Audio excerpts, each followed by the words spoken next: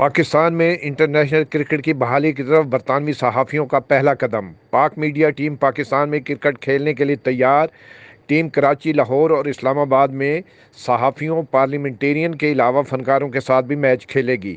Pakistan journalist ایسوسی ایشن برطانیہ کے جنرل سیکرٹری وجاہت علی خان نے ایک پریس کانفرنس سے خطاب کرتے ہوئے کہا کہ میڈیا ٹیم کو پاکستان لے جانے کا مقصد انٹرنیشنل کرکٹ کی بحالی اور بھاشا دیا میر ڈیم کی تعمیر میں اوورسیز پاکستانیوں کی جانب سے یکجہتی کا پیغام دینا ہے۔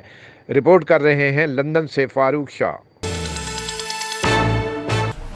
Lord Minister for his reply uh, when the Iranian backed Houthi drone attacks killed uh, very top military uh, personnel uh, last week in Saudi-led coalition strike, airstrikes supported uh, Mansour Hadi's government in Hadouda and in Taiz.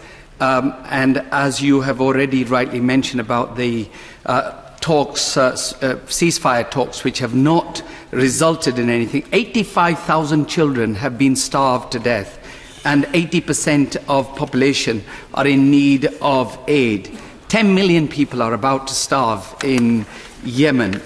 Um, will the UK diplomats who are tabling a Security Council resolution, hopefully this week, will they make sure to warn both Iran and Saudi Arabia not to have their uh, uh, uh, proxy war in Yemen, which is killing children and innocent civilians? Yeah. London کے علاقہ وزن green میں حاجی شبیر قریشی کی رہائش گاہ پر ایک محفل گیارہویں شریف منعقد کی گئی، جس میں حاجی کامران چغتائی نے پر نور خطاب کیا اور کہا کہ ہم بچوں کو قرآن پاک کی تعلیمات کی روشنی میں ہی محفوظ رکھ سکتے ہیں۔ حضور کی تعلیم اور پیغام کا مقصد ہماری نجات کا ذریعہ ہے۔ انہوں نے کہا کہ محبت رسول سے کامیابی ملتی ہے۔ بعد میں حضور کی بارگاہ میں نذرانہ عقیدت بھی پیش کیا گیا۔